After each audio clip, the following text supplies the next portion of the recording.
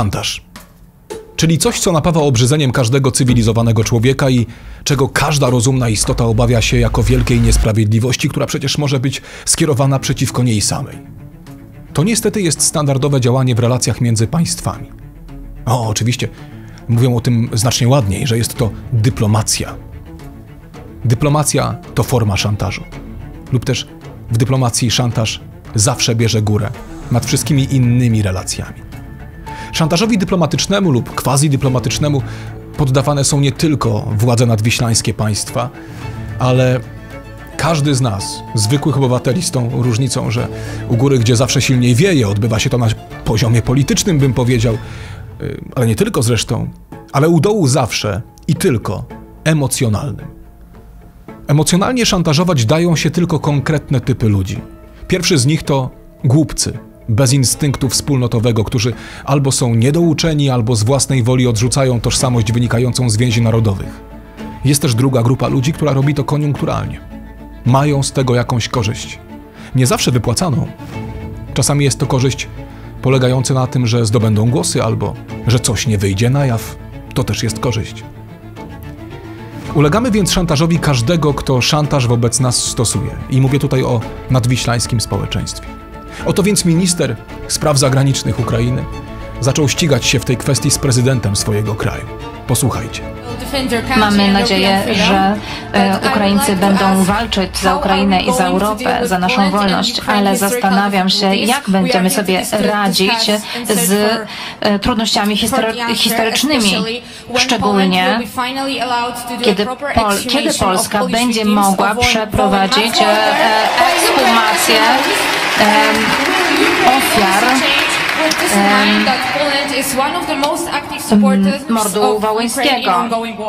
Jeżeli chodzi o pierwsze mm, pytanie, bardzo, bardzo doceniam Pani zaangażowanie emocjonalne. Jesteśmy w Olsztynie, to jest piękne miasto, piękny region spokojne. Czy zdaje sobie Pani z operacji Wisła i z roli Olsztyna w tej operacji? Tak, zdaje sobie Pani sprawę, czym była operacja Wisła. I wie Pani, że ci wszyscy Ukraińcy zostali przymusowo wygnani z terytoriów ukraińskich, żeby zamieszkać tutaj, między innymi w Olsztynie. Ale nie mówię o tym. Gdybyśmy dzisiaj zaczęli grzebać w historii, to jakość rozmowy byłaby zupełnie inna. I moglibyśmy pójść bardzo głęboko w historię i wypominać sobie te złe rzeczy, które Polacy uczynili Ukraińcom i Ukraińcy uh, Polakom. Mówi Pani o ekshumacjach. Rozmawialiśmy na temat uh, ekshumacji na Wołyniu z Radkiem. Uh, Nie mamy problemu z kontynuacją ekshumacji. Mamy tylko taki wniosek do e, rządów, rządów w Polsce, żeby też upamiętniać Ukraińców. Chcemy, żeby to było dwustronne. A jeżeli nasza relacja miałaby być zdominowana przez emocje, no to znaleźlibyśmy się w takim miejscu, w którym Rosja by wygrywała. Są prowokacje. Są prowokacje właśnie w obszarze historii, które są organizowane przez Rosję. Więc myślę, że zostawmy historię historyką, a przyszłość budujmy razem. Przyszłość niech będzie dla Was. I do tej wypowiedzi zaraz przejdziemy. Natomiast to, co najbardziej uderza, to chyba to, że ci młodzi ludzie biją mu brawo. Na tym etapie to nie są moi rodacy. To są wszyscy ci, których Polska uwiera, którzy uważają, że muszą się za nią nieustannie wstydzić. Często zakompleksieni, mali, żałośni, którzy swoją indolencję i niedostatki próbują usprawiedliwić przed sobą i innymi, rzecz jasna, że są lepszymi od pozostałych, za których przepraszają i bardzo się wstydzą. Te wszystkie ometowe publikacje, które mówią, Wyjechałam na wakacje do Hurgady, nagle zaczęli mówić po polsku i zaczęłam się wstydzić. Albo że Egipcjanin jest lepszy w łóżku niż Polak. Może po prostu pani nie trafiła na po prostu dobrego Polaka. Cechują się oni niską samooceną, to trzeba powiedzieć wprost, słabością, intelektualną próżnością i populistycznymi hasłami. Tu Marek Miśko i kanał Marek Miśko Czuwaj. Dziś bardzo mocno. Czuwaj w tygodniu. O sprawach ważnych i pilnych, a za takie sprawy uważam coraz bardziej bezczelne wybryki ukraińskich polityków wobec Polski i władz kraju zajmującego jej teren nad Wisłą. Mocne. Wiem. Ale witajcie i czujcie się jak u siebie, póki jesteście, rzecz jasna, jeszcze u siebie.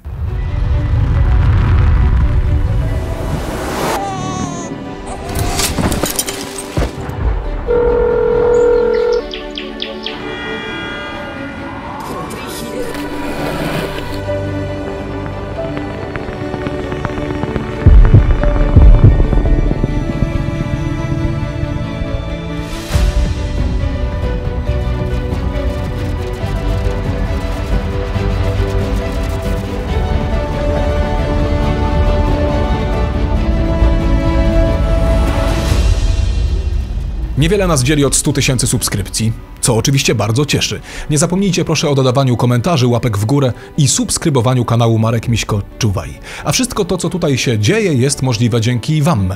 Programy na kanale Marek Miśko Czuwaj powstają dzięki Waszemu zaangażowaniu, za co jak zwykle kłaniam się w pas. Bez Was Czuwaja po prostu by nie było. Jeżeli ktoś z Państwa byłby natomiast zainteresowany dołączeniem do zaszczytnego grona mecenasów i ma życzenie wynagrodzić mi wykonywaną tutaj pracę w postaci darowizny, ale przede wszystkim wierzy w to, że to, co wspólnie tutaj robimy, ma sens i warte jest kontynuowania, zapraszam do opisu tego filmu i pierwszego komentarza. Możecie postawić nam kawę poprzez serwis Buy Coffee lub przyłączyć się do zrzutki. Są tam również inne metody wsparcia. No to co? Zaczynamy.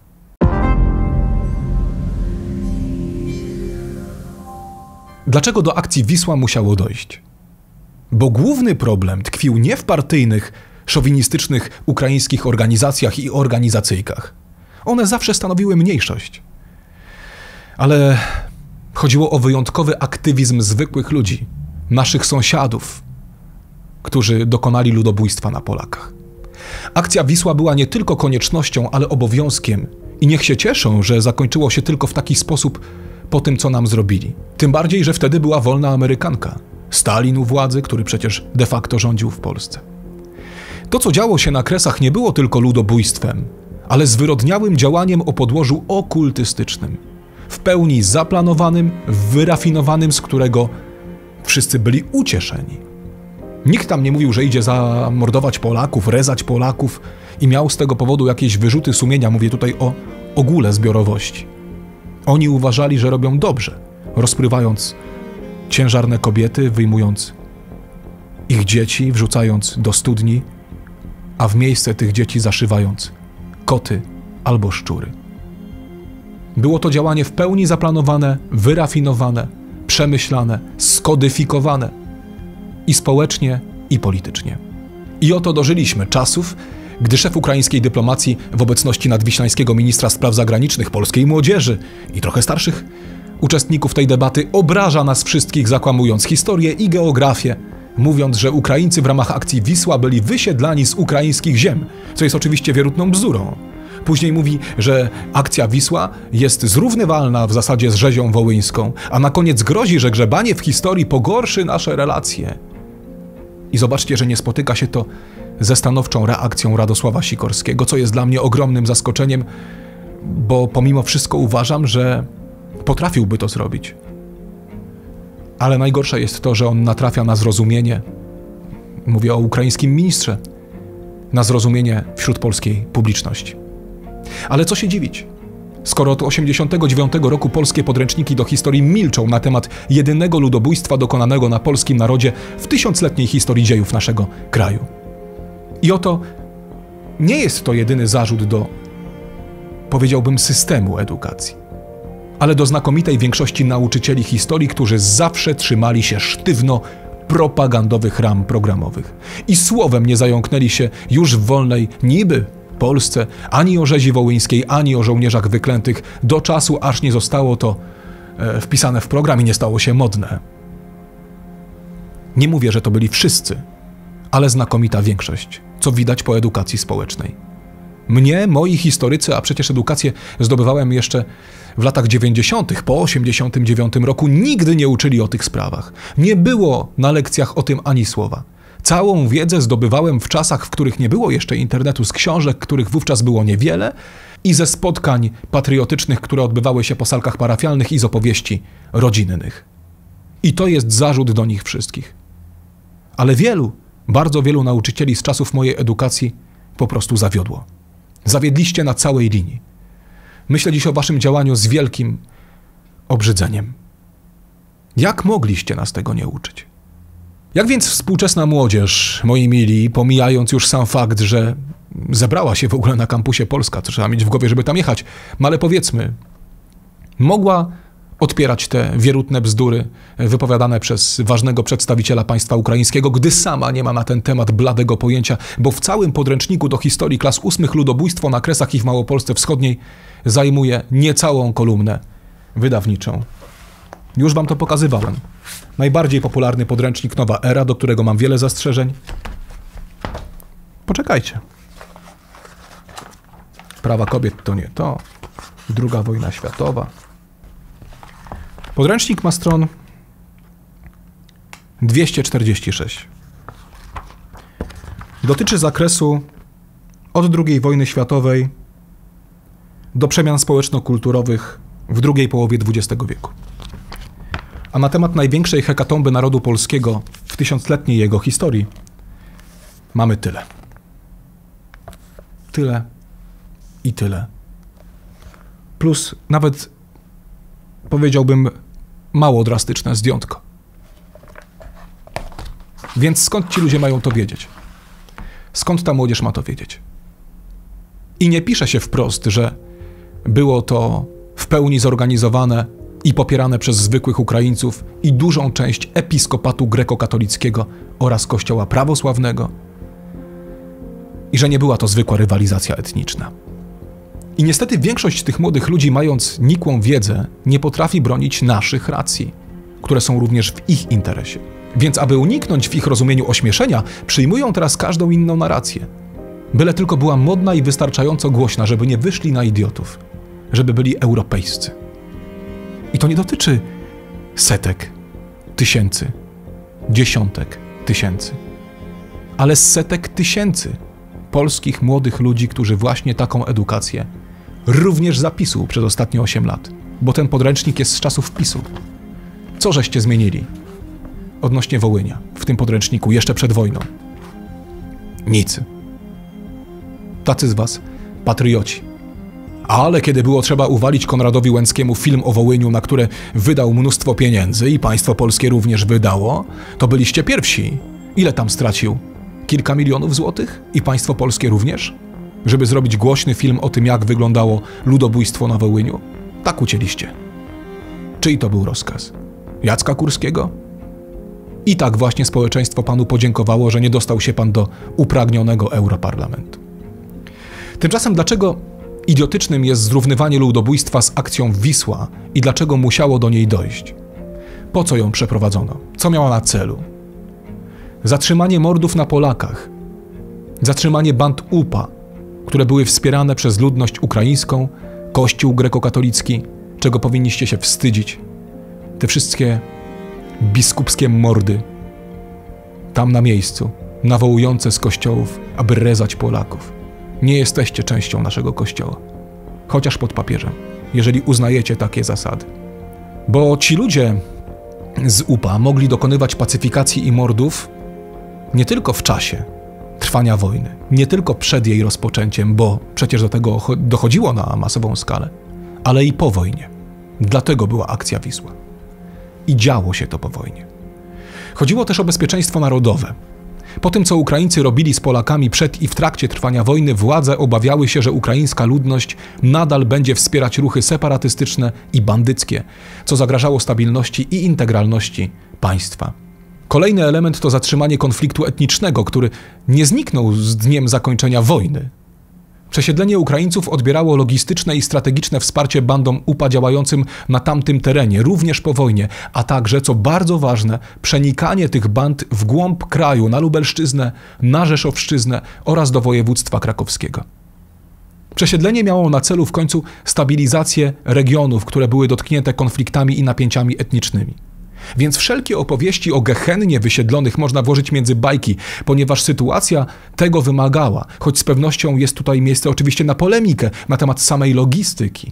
Ale ci, którzy dziś oburzają się na podjętą wówczas decyzję i utyskują nad losem Ukraińców, mówiąc, że to stosowanie odpowiedzialności zbiorowej, milczą jednocześnie, tak się dziwnie składa, we wszystkich językach.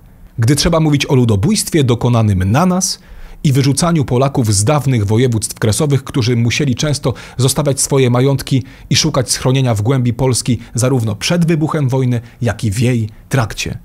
Naprawdę chcecie porównywać akcję deportacyjną do niemieckich kamienic, yy, dworów, które były gotowe po opuszczeniu przez Niemców z tym?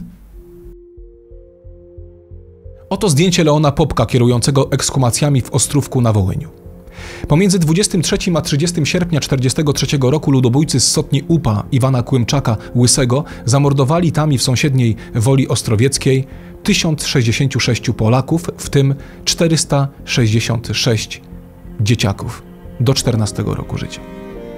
Naprawdę ktoś chce zestawiać tę górę ludzkich kości, niewinnych ludzi, dzieci, kobiet i starców mordowanych na setki sposobów z akcją przesiedleńczą, która miała na celu niedopuszczenie do takich sytuacji w przyszłości? Gdybym nagrywał ten program na zewnątrz, to bym splunął. Ze złości.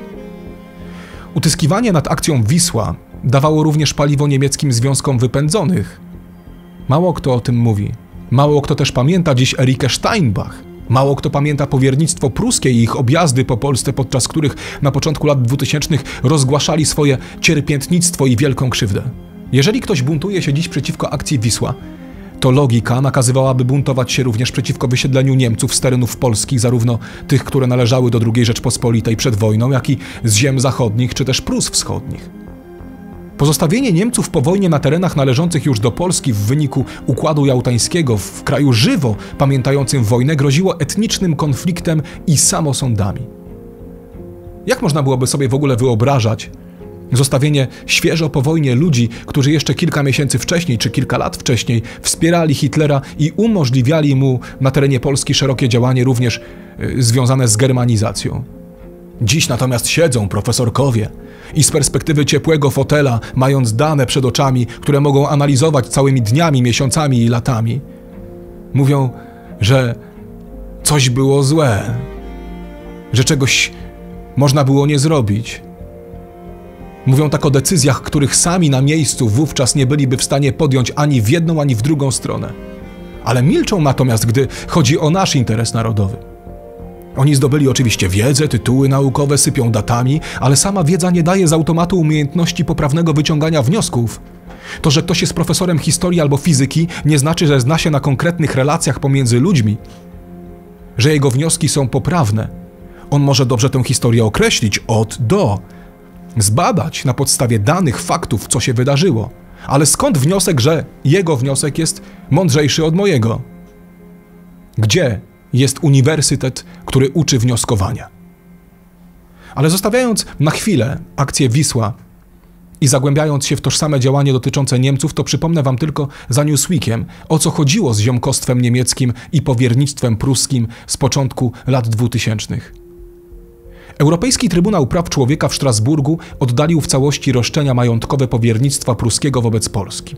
W ten sposób zakończony został jeden z najgłośniejszych powojennych sporów polsko-niemieckich. O powiernictwie pruskim było w tamtym czasie głośno.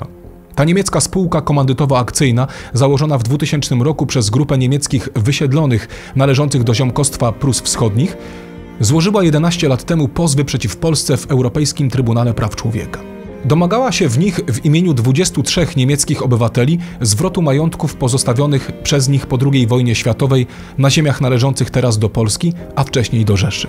Chodziło głównie o nieruchomości znajdujące się na terenach przedwojennego niemieckiego Śląska, południowej części Prus Wschodnich. Skarżący argumentowali m.in., że władze polskie zmusiły ich do opuszczenia własnych majątków i działania te miały charakter czystek etnicznych. Zapamiętajcie to słowo czystek etnicznych, bo ono będzie się jeszcze przewijało w naszej dyskusji. I wracając do tekstu, a nawet zbrodni przeciwko ludzkości. Ten zwrot również zapamiętajcie. Jednak europejscy sędziowie orzekli, że skarżący porzucili swe majątki jesienią 1944 roku, uciekając przed Armią Czerwoną, często w związku z decyzją władz nazistowskich Niemiec, która zalecała taką ewakuację. Polska w żaden sposób nie władała wtedy ziemiami, z których uciekali Niemcy. Ponadto sędziowie mówili, że decyzje w sprawie przesunięć terytorialnych oraz przesiedlenia ludności niemieckiej podjęła nie Warszawa, ale mocarstwa sprzymierzone.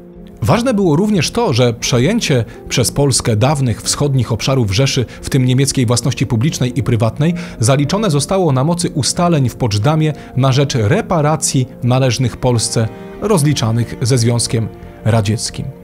I to samo dotyczyło akcji Wisła. Polska, jak gdyby ktoś nie wiedział, znalazła się pod okupacją sowiecką, w której to Polsce Stalin w lipcu 1944 roku w Lublinie zainstalował swój marionetkowy rząd, na którego nikt nie głosował. Podsumowując, więc raz jeszcze. Decyzja o akcji Wisła zapadła w gabinetach władz okupacyjnych, bo po wojnie Polska wolna nie była, i dwa, że była to decyzja trudna, ale jak najbardziej słuszna. Ukraińców zresztą nikt przecież nie wypędził precz, od tak, na dwór, na zewnątrz, ale pozwolono im osiedlić się w innych częściach kraju i zająć mienie po Niemcach. Wychowałem się na ziemiach zachodnich i żyli tam zarówno wypędzeni z kresów Polacy, jak i Ukraińcy z akcji Wisła. O podziałach na miejscu już nie słyszałem w latach 90. Nigdy, nikt ich też mi nie wspominał. Nie widziałem ich na własne oczy, chociaż nawet kilku sąsiadów miało ukraińskie nazwiska. I teraz raz jeszcze, mając tę całą wiedzę, na polskiej ziemi w XXI wieku minister kraju, który nie rozliczył swojej barbarzyńskiej historii, któremu oddaliśmy wszystko, co mieliśmy i wbrew temu, co nam zrobili, również po, po tym, co zrobili mojej rodzinie, przyjęliśmy ich z taką serdecznością, gdy zostali zaatakowani przez Rosję. Ten minister obraża nas i naszą inteligencję, historię, pamięć o przodkach i ich ogromnym cierpieniu i pozostaje to bez reakcji naszego szefa dyplomacji. Porównywanie akcji Wisła do ludobójstwa dokonanego przez Ukraińców na Polakach i Żydach Wyklucza tego człowieka z grona ludzi cywilizowanych i stronników Polski. I nawet jeżeli przed kamerami mówią do siebie po imieniu, Radku, często z jakąś taką nadmierną czułością, to wolałbym osobiście jako obywatel, aby w kwestiach polskiego interesu narodowego trzymać jednak pewien konieczny dystans.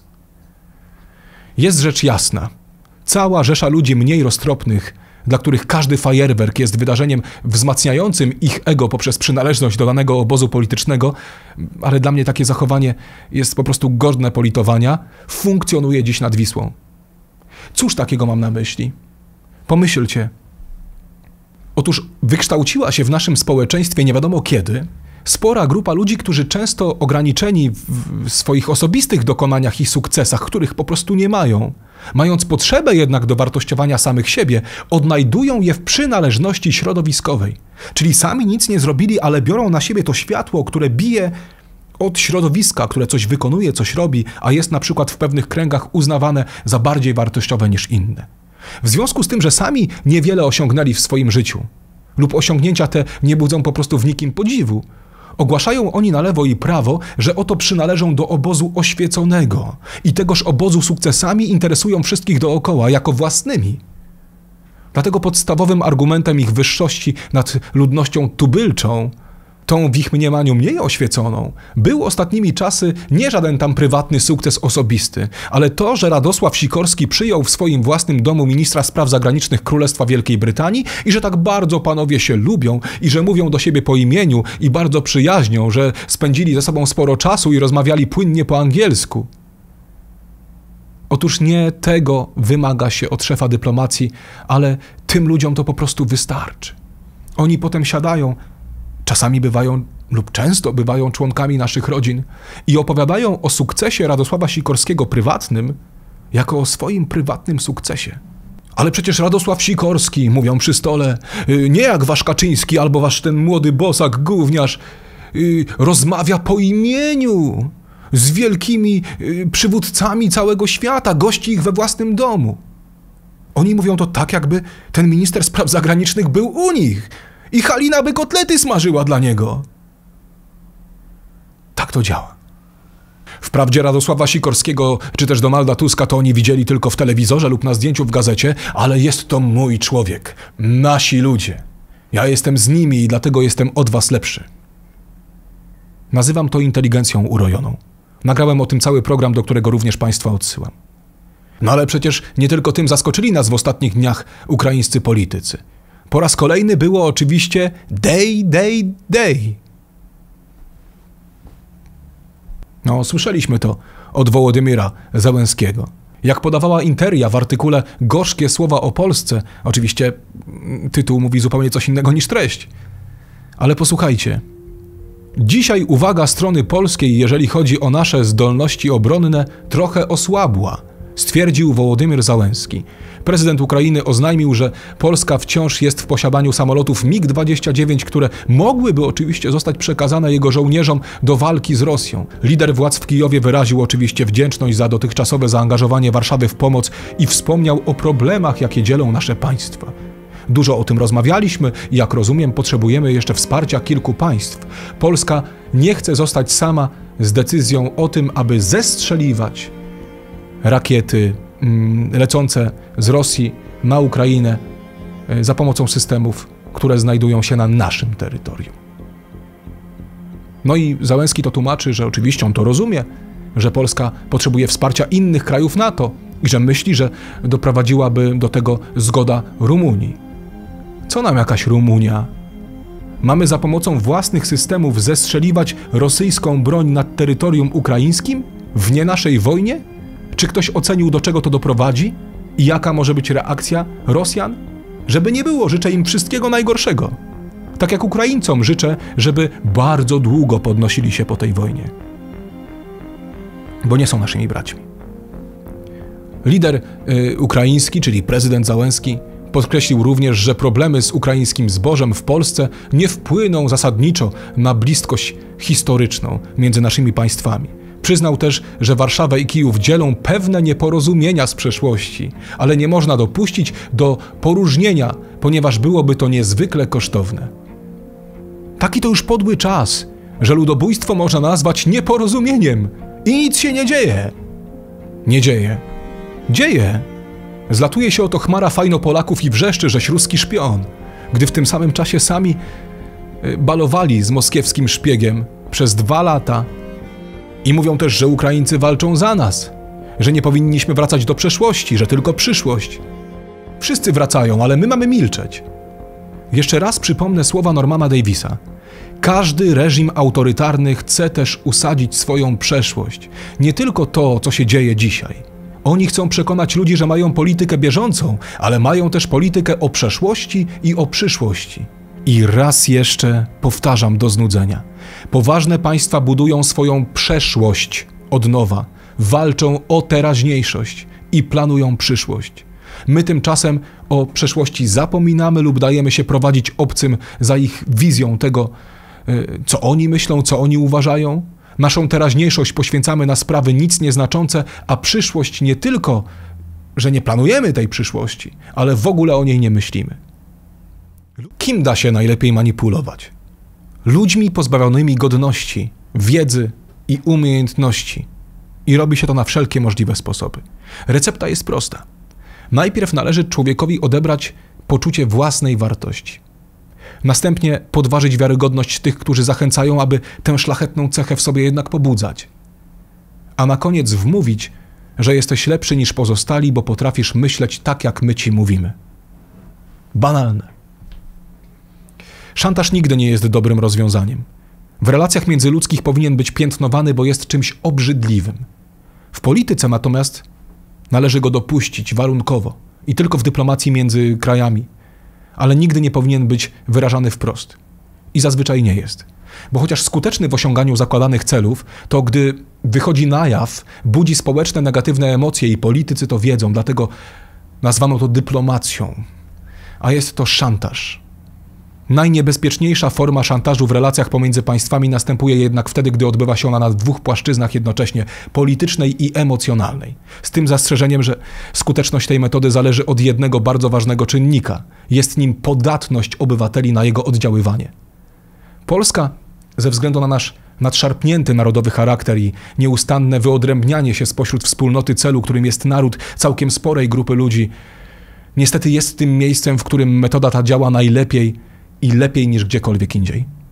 Dużo łatwiej byłoby zapanować nad emocjami, które zawsze prowadzą nas do niechybnej zguby, gdyby media spełniały zadania, do których zostały powołane i zamiast politycznej agitacji albo zalewania nas nikomu niepotrzebnymi informacjami podawały po prostu fakty w jednej zbitce w całości.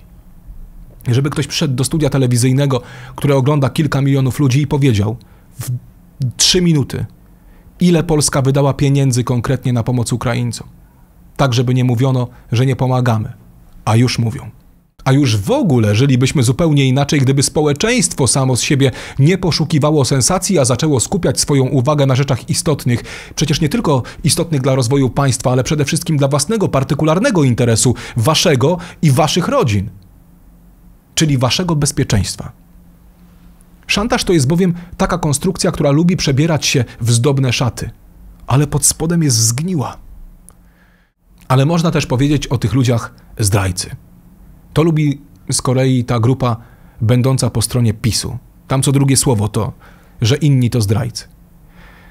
Osobiście stoję na stanowisku, że najłatwiej jest powiedzieć, że ci, z którymi się nie zgadzamy, albo którzy w naszej ocenie występują przeciwko interesowi narodowemu, to zdrajcy. Przecież ciągle słyszę zdrajcy, zdrajcy, zdrajcy. Dla wyznawców PiSu zdrajcy to są ci z PO, a dla Platformy to ci, co są w PiSie. Rozgrywka, której jesteśmy z jednej strony świadkami, a z drugiej strony przecież uczestnikami, bo żyjemy w tym kraju, nie możemy od niego abstrahować, musi być bardziej skomplikowana niż mogłoby się nam wszystkim wydawać na pierwszy rzut oka. Myślę, że zdrajców jest w tym wszystkim najmniej. Najwięcej, i trzeba to powiedzieć wprost, jest próżnych, niedowartościowanych głupców, a często i tchórzy. A to zupełnie coś innego niż zdrada. I w tym tkwi problem – że rządzą nami głupcy bez wartości i bez własnego wewnętrznego przekonania, że są kimś i że coś znaczą, i że za nimi stoi tysiącletnia historia państwa, którą muszą nieść, bo taki mają obowiązek, gdy już wyrwali się do polityki. I te nieustanne musimy. Nic nie musimy. Możemy albo powinniśmy, ale tylko wtedy, gdy jest na to y, zgoda narodu, gdy jest to zgodne z interesami naszego państwa a z naszym interesem nie jest zgodne wypieranie się własnej historii, rozbrajanie, zadłużanie y, ze względu na socjal, który rozdajemy naszym i obcym. Albo czy to jest w naszym interesie? No zastanówcie się. No, przejdźmy znowu do spraw edukacyjnych. Ukraińskie Dobrze. dzieci w Polsce, podkreślmy, tak. bo nie mówimy o dzieciach e, w Ukrainie, powinny się uczyć o naszej, naszym postrzeganiu rzezi wołyńskiej? Powinny, znaczy polskie dzieci i dzieci ukraińskie powinny uczyć się historii e, w taki sposób, w jaki wypracujemy to wspólnie my i Ukraińcy. To jest bardzo, bardzo istotne. Tak jak my i Niemcy wypracowaliśmy wspólny sposób nauczania historii, tak my z Ukraińcami powinniśmy wypracować e, tutaj wspólną metodę i wspólną treść nauczania historii. Będziemy w naszych szkołach ustalać, czego mają się uczyć za nasze pieniądze ukraińskie dzieci. No z jednej strony podręczniki z Niemcami o relatywizowaniu historii, a z drugiej z Ukraińcami, aby łagodzić obyczaje.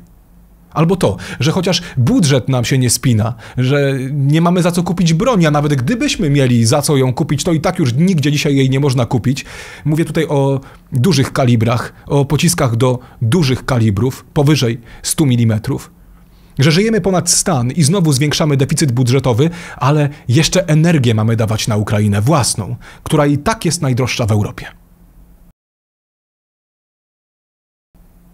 Pytam więc, za czyje pieniądze? I zadam też drugie pytanie, czy mówienie o tym jest w ogóle bezpieczne? Albo papież. Kolejny komunista. Bądźcie nadal gościnni. Jesteśmy, ale gościnność ma swoje granice i jako zagorzały zwolennik Kościoła katolickiego i syn matki Kościoła katolickiego, który wie, czym jest Ordo Caritatis, chciałem teraz wyrazić jedną rzecz.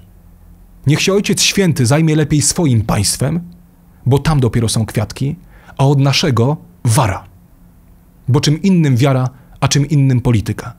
Tutaj proszę się nie mieszać ze swoimi komuszymi historiami i opowieściami z całym szacunkiem, bo papież Franciszek jest papieżem mojego kościoła, którego uznaję. Ale proszę nas nie pouczać, czym jest polityka.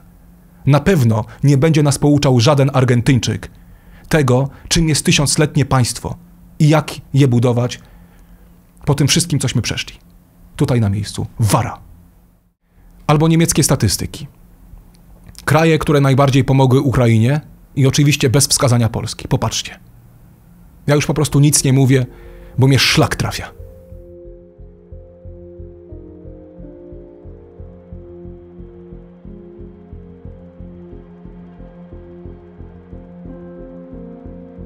A teraz fakty o tej pomocy.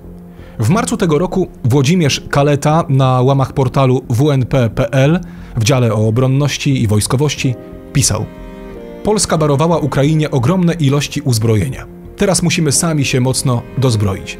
W 2024 roku wydamy rekordową kwotę na obronność ponad 168 miliardów złotych.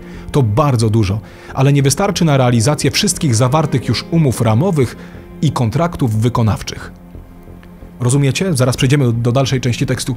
Rozumiecie? To nie jest tak, że my nie możemy wydać pieniędzy, bo ich nie mamy, na to, co chcemy kupić, ale nie stać nas na tym etapie na to, żebyśmy spłacili zobowiązania wynikające z umów, które już zostały podpisane. No to chyba jest znakomita różnica, prawda? Może papież by nam pożyczył trochę dolarów albo euro, żebyśmy mogli sprostać tym wyzwaniom, kiedy mamy być gościnni, rzecz jasna. Bo z czego mamy być gościnni? Z czego? Wojna na Ukrainie sprawiła, pisze dalej redaktor, że szybko pozbywamy się starego poradzieckiego sprzętu wojskowego, jak choćby czołgów T-72, myśliwców MiG-29 czy śmigłowców szturmowych Mi-24. Na Ukrainę przekazaliśmy także zupełnie nowoczesne uzbrojenie, jak choćby kraby czy rosomaki. W związku z tym musimy wydawać ogromne kwoty na szybkie uzupełnienie braków. I znowu pauza. Jak myślicie, czy te firmy, które produkują dla nas ten sprzęt z zagranicy, one o tym nie wiedzą? Że Polacy są w sytuacji podbramkowej? Że tylko one nam mogą sprzedać taki produkt? Jak myślicie, co dzieje się wówczas na rynku? Obniżają cenę czy zawyżają? Kiedy ktoś jest w potrzebie. Kiedy ktoś musi zjeść, a jest jeden sklep spożywczy yy, i do innego nie ma dostępu. Jakie tam są ceny wówczas? Jak działa rynek? Przecież oni wszyscy wiedzą, w jakiej potrzebie się znajdujemy.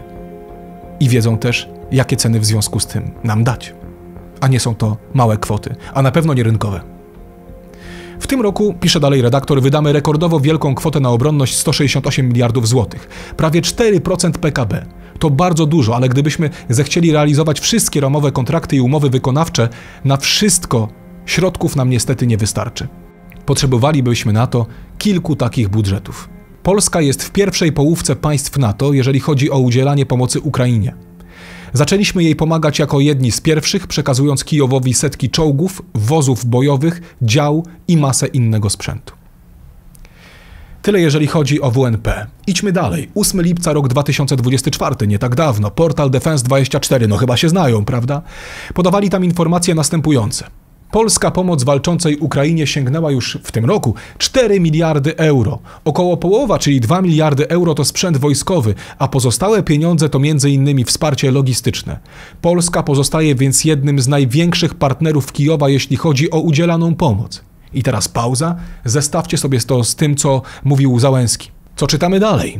Warszawa przygotowuje zresztą kolejny 45. pakiet pomocy dla Ukrainy o wartości około 100 milionów euro. Z informacji Defense24 wynika, że w jego skład wchodzą m.in. amunicja, ale nie tylko. W przeszłości Polska przekazywała Kijowowi bardzo różny sprzęt, od czołgów T-72 i bojowych wodzów piechoty BWP-1, przez myśliwce MiG-29 i śmigłowce Mi-24, aż do armatochaubic Krab, transporterów Rosomak i systemów przeciwlotniczych nie mówiąc już o dostawach broni strzeleckiej, amunicji i wyposażeniu indywidualnym. Ale przecież wsparcie nie dotyczyło jedynie uzbrojenia, które można przeliczyć w łatwy sposób na pieniądze. Oto informacje zaczerpnięte nie skąd indziej, tylko ze stron rządowych na temat wsparcia, które przez dwa lata trwania wojny państwo polskie udzieliło broniącej się Ukrainie.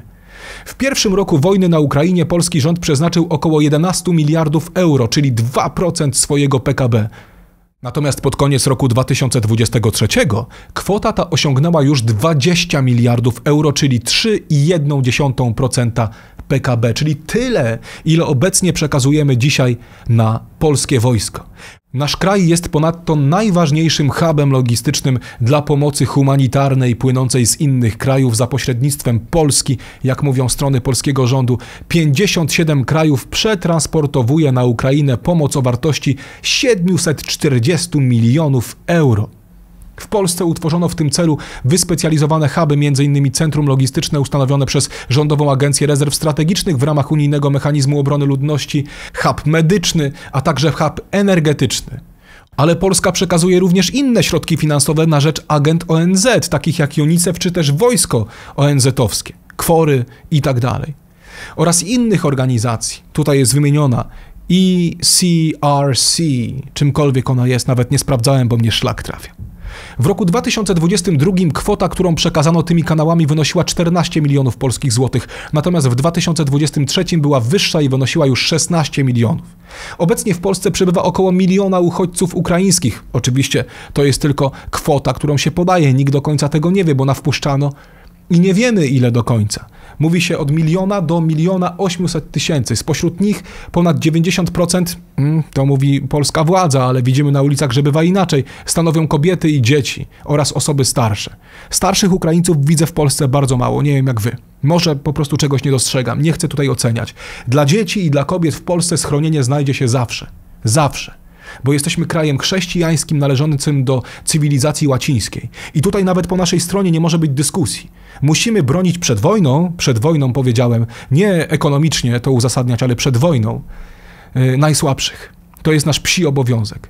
Ale jeżeli widzimy mężczyzn, starców, jak rzekłem, nie widzę, może wy widzicie ukraińskich starców, ale może są po domach pochowani, nie wiem. Tymczasem ponad 1 700 tysięcy Ukraińców otrzymało polski numer PESEL, uprawniający do korzystania z usług publicznych na tych samych zasadach co obywatele polscy. Więc moje pytanie jest następujące. 1 700 tysięcy PESELi w Polsce, ukraińskich, ale milion przebywa na terenie kraju? I co, biorą zasiłki? Co jeszcze robią? Polski rząd pisze dalej. Dzięki działaniom polskiego rządu osoby te mogą więc korzystać z darmowej opieki medycznej, opieki socjalnej, a także bezpłatnych szkół, dzięki czemu już prawie 190 tysięcy ukraińskich dzieci pobiera naukę w polskich szkołach. I teraz przypomnę to, co powiedziała pani minister Mucha. Posłuchajcie jeszcze raz, czego będą się dzieci uczyły i kto będzie te lekcje ustalał. No, przejdźmy znowuż do spraw edukacyjnych. Ukraińskie Dobrze. dzieci w Polsce, podkreślmy, tak. bo nie mówimy o dzieciach e, w Ukrainie, powinny się uczyć o naszej, naszym postrzeganiu rzezi wołyńskiej?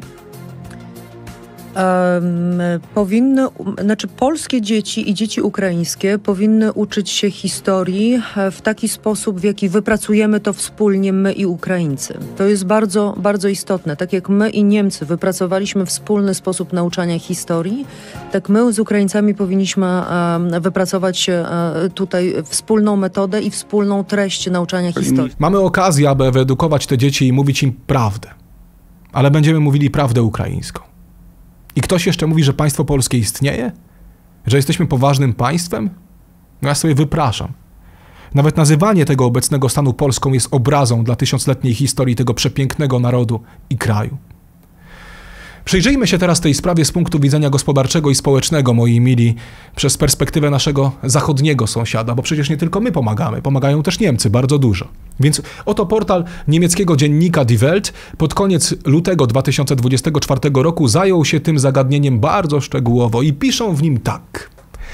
Wojna Rosji przeciwko Ukrainie kosztowała dotychczas Niemcy ponad 200 miliardów euro, co w dużym stopniu wynika ze wzrostu kosztów energii, twierdzą eksperci. I teraz pauza.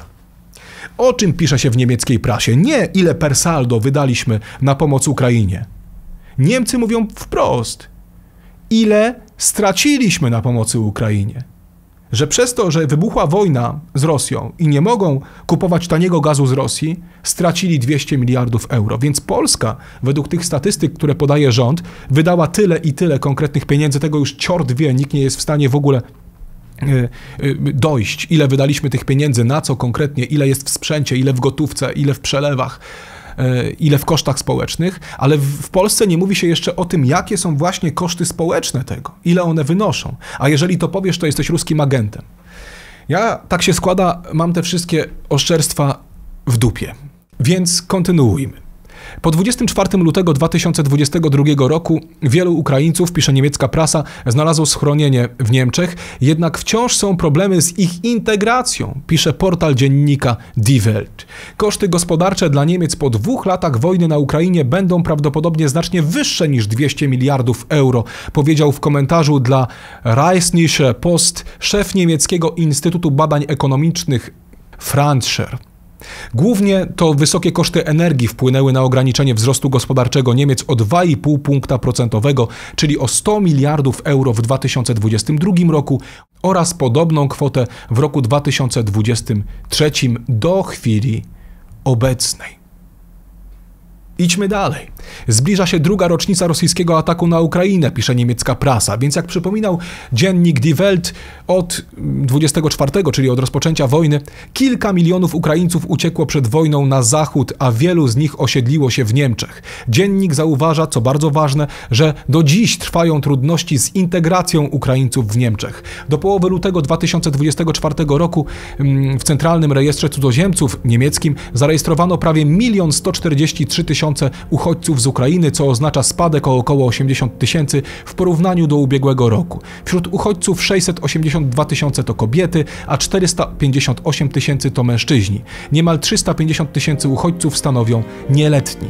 Z danych niemieckich Ministerstw Edukacji wynika, że w szkołach uczy się obecnie prawie 219 tysięcy dzieci i młodzieży z Ukrainy, blisko 321 tysięcy uchodźców, którzy przyjechali do Niemiec od początku konfliktu, obecnie nie mieszka w tym kraju.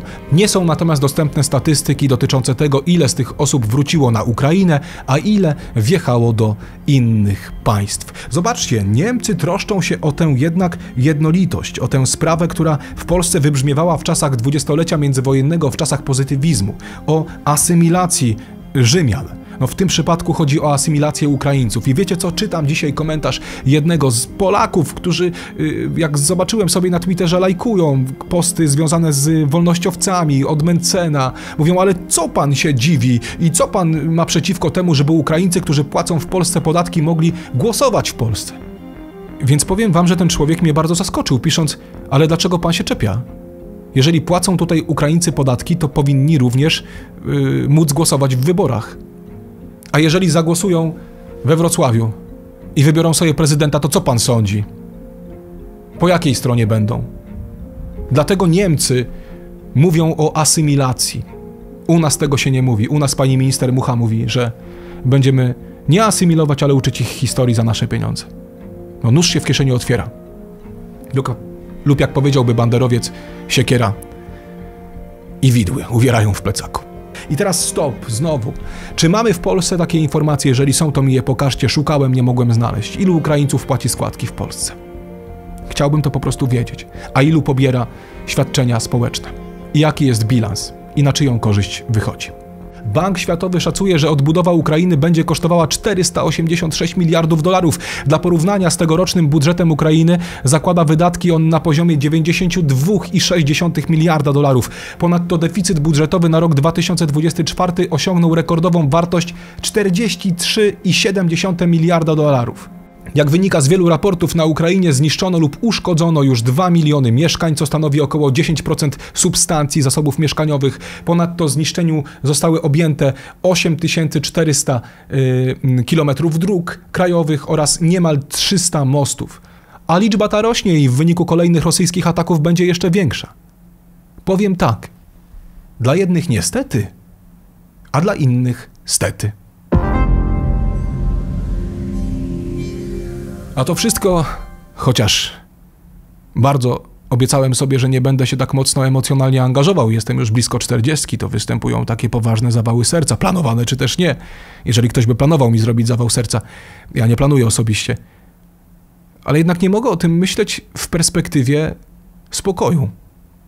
Szczególnie kiedy analizuje się te wszystkie dane w jednym miejscu, bo wiecie jak to jest.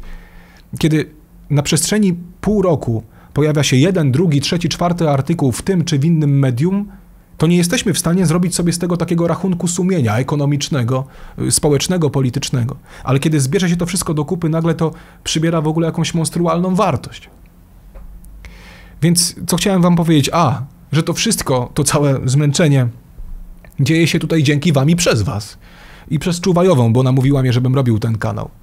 Y, chcę Wam za to bardzo serdecznie podziękować, bo to wszystko, co tutaj powstaje, i widzę tego dobre owoce. Powstaje dzięki waszemu zaangażowaniu, za co jak zwykle kłaniam się w, w pas. Kłaniam się w pas. Bez was czuwaja by nie było. Jeżeli ktoś z Państwa byłby natomiast zainteresowany dołączeniem do zaszczytnego grona mecenasów, no i ma życzenie wynagrodzić nam wykonywaną tutaj pracę, no ale przede wszystkim wierzy to, że to, co wspólnie tutaj robimy, ma sens i warte jest kontynuowania, zapraszam do opisu tego filmu i pierwszego komentarza. Możecie postawić nam kawę poprzez serwis Buy Coffee lub przyłączyć się do zrzutki. Są tam również inne metody wsparcia. A na odchodne. Co więc robić? Nie będę tutaj mędrkował, tylko zostawię Was z wierszem Wojciecha Młynarskiego, dziękując jak zwykle za Wasz poświęcony czas i przypominając, że jest on dla mnie najcenniejszy. Raz Noe wypił wina dzban i rzekł do synów: Oto przecieki z samej góry mam. Chłopaki, idzie potop. Widoki nasze marne są i dola przesądzona. Rozdzieram oto szatę swą. Chłopaki, już jest po nas. A jeden z synów, zresztą Ham, rzekł: Taką tacie radę dam. Róbmy swoje. Pewne jest to jedno, że róbmy swoje. Póki jeszcze ciut się chce. Skromniutko od na własną miarkę. Zmajstrujmy coś, chociażby arkę. Tatusiu, róbmy swoje. Róbmy swoje, może to coś da, kto wie. Napotkał Nobla kumpel raz i tak mu rzekł: Alfredzie, powiedzieć to najwyższy czas, że marnie ci się wiedzie. Choć do doświadczeń wciąż cię gna, choć starasz się od świtu, ty prochu nie wymyślisz, a tym bardziej dynamitu. A Nobel spłonił się jak rak, po cichu zaś pomyślał: Jak? Róbmy swoje. Pewne jest to jedno, że róbmy swoje, póki jeszcze ciut się chce. W myśleniu sens, w działaniu racja. Próbujmy więc, a nuż fundacja wystrzeli. Róbmy swoje, róbmy swoje, może to coś da, kto wie. Ukształtowała nam się raz opinia, mówiąc, kurczę, rozsądku krztyny nie ma w was, inteligenty twórcze. Na łeb wam wali się ten kram, aż sypią się zeń drzazgi. O skórze myśleć czas, a wam, wam w głowie wciąż drobiazgi. Opinia sroga to, że hej, odpowiadając przeto jej, róbmy swoje. Pewne jest to jedno, że róbmy swoje, bo jeżeli ciut się chce, drobiazgów parę się uchowa. Kultura, sztuka, wolność słowa. Kochani, róbmy swoje. Róbmy swoje. Może to coś da, kto wie. Rodacy, róbmy swoje, a ty, widzu, brawo bij, róbmy swoje, a ty zdrowie nasze pij. Niejedną jeszcze paranoję przetrzymać przyjdzie, robiąc swoje, kochani, róbmy swoje. Róbmy swoje, żeby było na co wyjść, czego sobie i Państwu życzę. Czuwaj.